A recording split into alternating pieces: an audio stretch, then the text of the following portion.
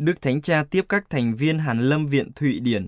Vatican, trong cuộc tiếp kiến dành cho các thành viên của Hàn Lâm Viện Thụy Điển vào sáng ngày 19 tháng 11, Đức Thánh Cha mời gọi họ thúc đẩy văn hóa gặp gỡ.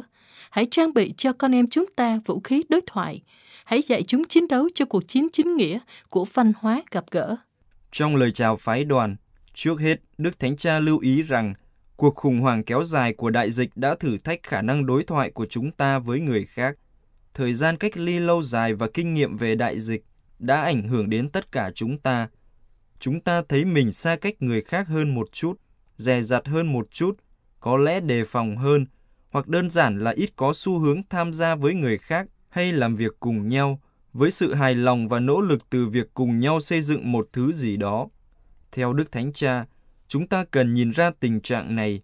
Nó đe dọa con người chúng ta, làm giảm khả năng có các mối tương quan và làm nghèo xã hội và thế giới xung quanh chúng ta. Nó cũng có nguy cơ vô tình rơi vào tay của văn hóa thờ ơ.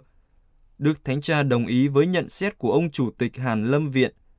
Trong thời gian khủng hoảng, mỗi bước nhỏ có thể mang con người đến gần nhau là điều quan trọng trên hết. Và theo Đức Thánh Cha, đó là thực hành hàng ngày của việc gặp gỡ và đối thoại, một phong cách sống không ồn ào tin tức, nhưng giúp cộng đồng nhân loại tiến lên và phát triển trong tình thân hữu xã hội. Đối thoại xã hội là con đường cao quý tiến đến một tương lai mới. Đây là điều Đức Thánh Cha muốn chia sẻ với các thành viên và Hàn Lâm Viện. Ngài lưu ý, sự phát triển lan tỏa của mạng xã hội có nguy cơ thay thế đối thoại bằng một mớ độc thoại, thường có giọng điệu tấn công. Thay vào đó, đối thoại xã hội liên quan đến khả năng tôn trọng quan điểm của người khác với sự chân thành và không gian dối.